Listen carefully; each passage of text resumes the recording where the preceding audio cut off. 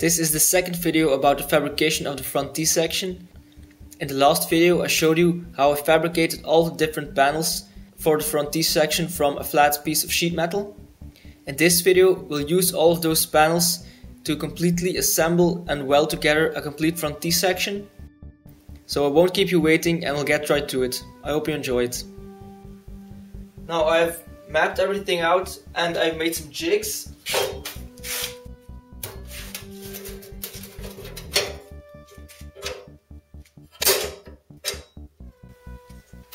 These are some of the jigs for the front suspension pickup points. There's another cross brace like this, but this front pickup point um, isn't in the correct position. It's out by a couple of millimeters. When I reassemble everything by using this jig, I'm sure that all suspension pickup points are in the correct position and um, they have very close tolerances.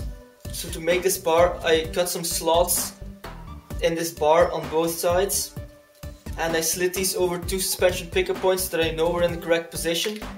Then I slid some washers over there and I welded the washers over the slots. I know that they are in, the correct position so this is the front T section marked up. These are two of the strengthening plates have to go inside of this. I'll quickly disassemble it and uh, I'll show you what all the parts are.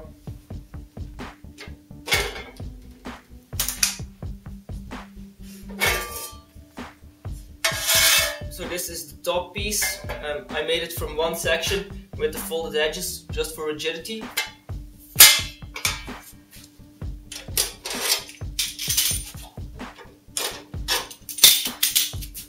The front of the T-section is from in two different pieces. Um, this is the welded in ring from the original one. This one has two folded edges, it's very rigid.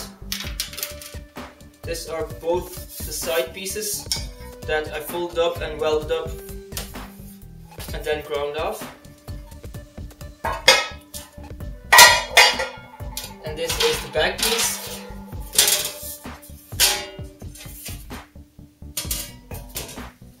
what's the next step? Well, I'm going to clean off all the surface rust from all the panels. And while I'm doing that, I can do a little bit of thinking. What pieces I can seam weld, what pieces I have to plug weld, and what pieces I can spot weld. Also, I'd like to um, give you a little bit of advice. I wouldn't use all of the chassis plans that are on Jerry's website to build a Series 1 front T-section. Well, you can use them, but I wouldn't trust the dimensions that are on there because I used the plans, but I double checked all the measurements against my original front T section and some of the dimensions were quite a bit out. And the width was different and the height was different, so um, I just double checked all the measurements constantly and I used the chassis plans as a bit of a template and I just used my own dimensions and that way I'm sure it all fits and that it's um, complying with all the original dimensions. I've tacked these side pieces to this rear panel. Now I'm going to try to spot weld these two pieces together. The way that I'm going to do it is by using my TIG welder. I'm going to turn this upside down in a minute and then start by making a puddle on the outside piece of metal. And then once the top metal melts and if both plates touch, the lower piece will melt as well and if you form a big enough puddle, uh, both the metals will um, go together and then you'll have a spot weld. I'm also using an aluminium backing plate.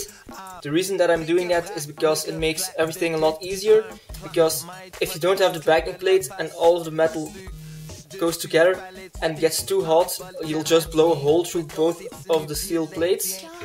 Now you can only do this if both plates are really close together and really touching.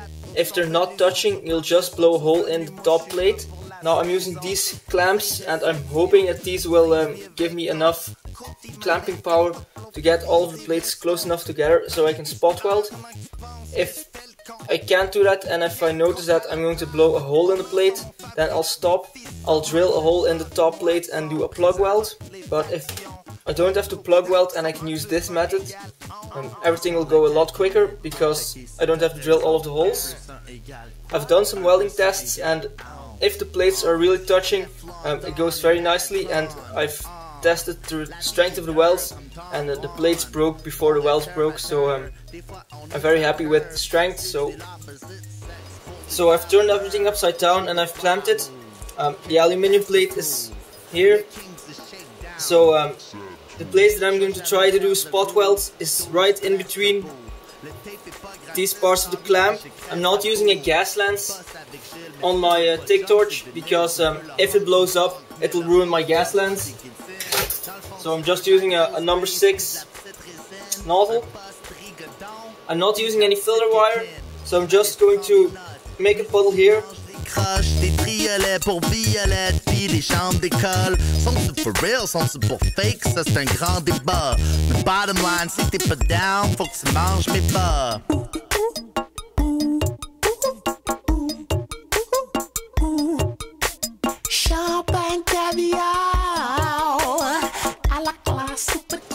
As you can see, that's the part where it is penetrated. So that spot weld has worked. So now I'm going to do, I'll try to do one here, but um, I'm going to do two side by side every inch or so. And that's the way it was originally done, so um, if this works all the way down, it'll save me quite a bit of time by not having to drill all of the holes to plug weld. These are 19 spot welds, and uh, everything worked like planned, so um, I didn't have to drill any holes, and I'm quite sure that will be very sturdy. Um, I'm counted on the original panel, and the original one had 18 spot welds, so um, these are 19 spot welds. I'm happy with that. And now I'll do the other side, and then um, we'll continue adding panels until we have a complete front T-section. I've finished spot welding both the side pieces on uh, this front part. The next panel that we're adding is the top section.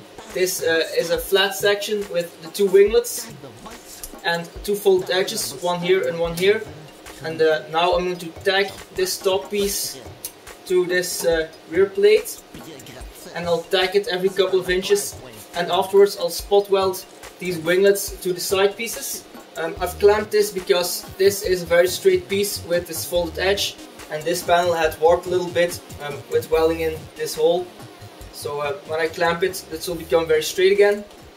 This will be a lap weld and I'll completely seam weld this, but I'm going to wait with that because uh, if I'll completely weld now, quite a lot of heat will get in this and it might warp a little bit, but uh, if I add some more panels, then this will be a very stiff structure and uh, it won't warp so uh, now I'll just stack it and afterwards I'll uh, seam weld this uh, on this lap weld and then I'll clean it off so this looks one piece. These two parts are what makes up the front of the T-section. First I wanted to weld in the bottom section first and the top section afterwards um, on the complete assembly but then it would be very difficult to weld these flanges together so um, I mocked everything up and I clamped it down. Now I'm going to weld these flanges together once I've welded these flanges together, I'll put everything on the assembly and then I can seam weld the front of this.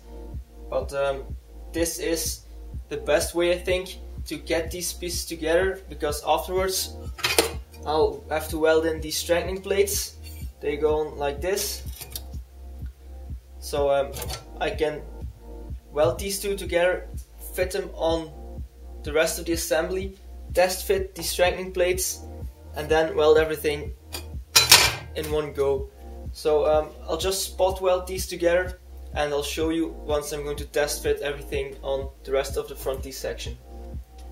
So I drilled all of these holes just to be able to plug weld the strengthening plates. The strengthening plates have been seam welded to the front bulkhead. This is the rear bulkhead towards the driver. So um, I'll start by welding in the front bulkhead by using spot welds like I did on this side and uh, once the front bulkhead's in place, I'll turn it over and then I'll fill in these plug welds and uh, I'll show you what it looks like when I finished it. So I've welded in the front part of the front T-section. Um, I spot welded on the sides, so here and here, and I tacked in the top seam. I also plug welded the holes for the strengthening plates that go on the inside.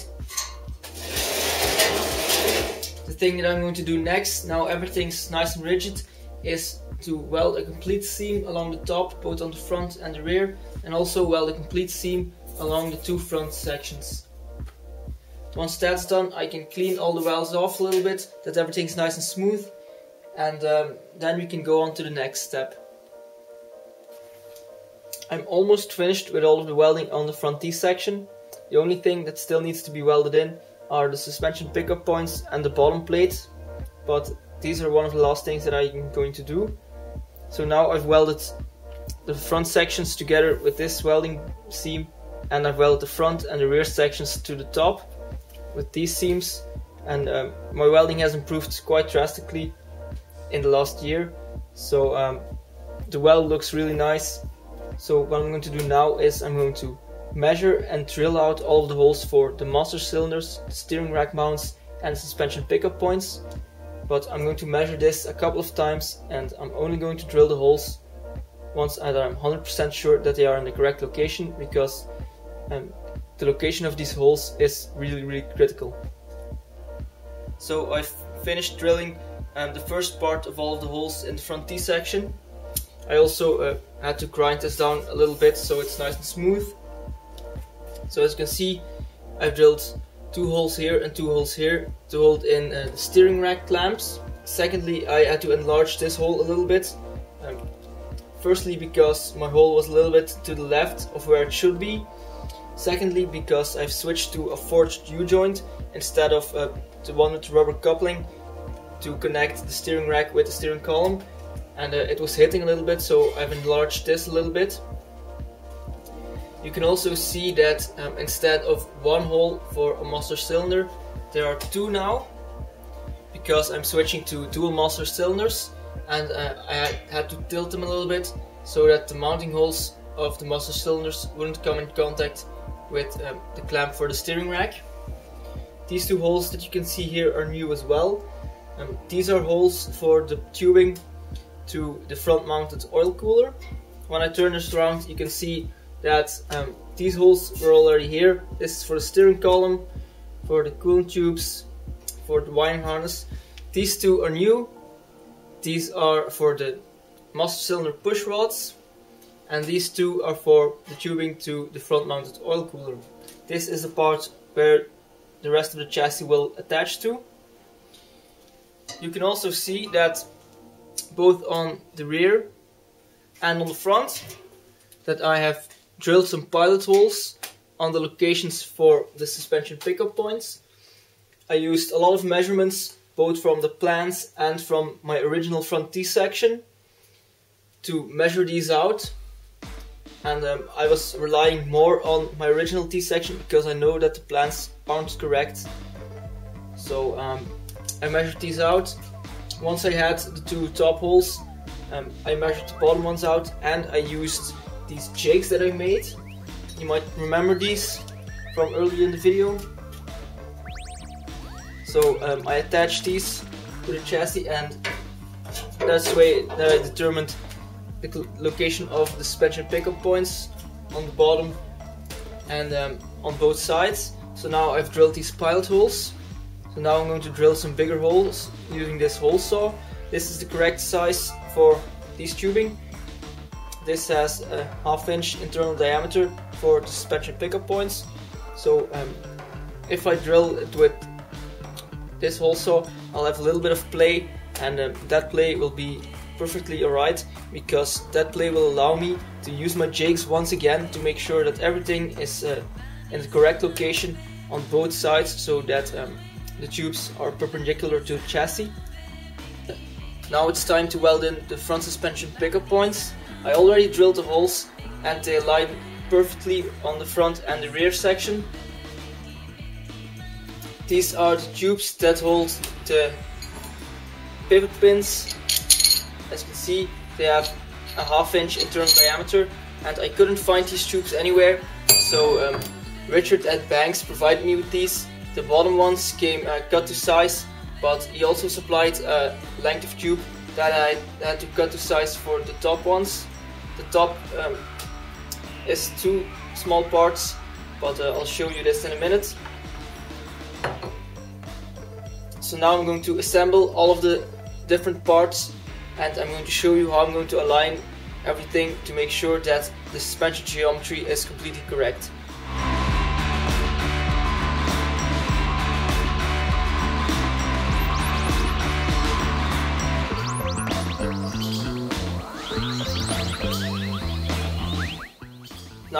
All the suspension pins are in.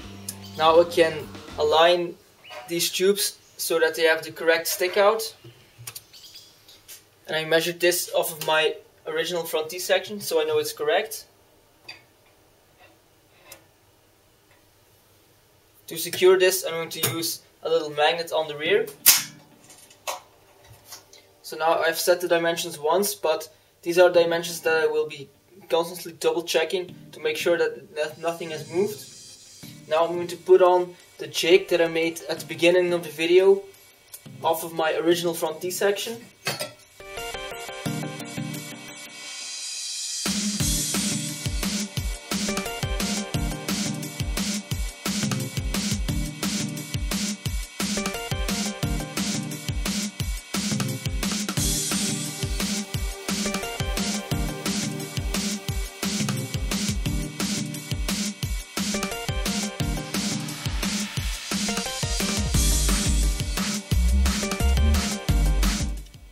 Now because of this jig, the relation between all of the suspension pickup points is completely fixed and in the correct position.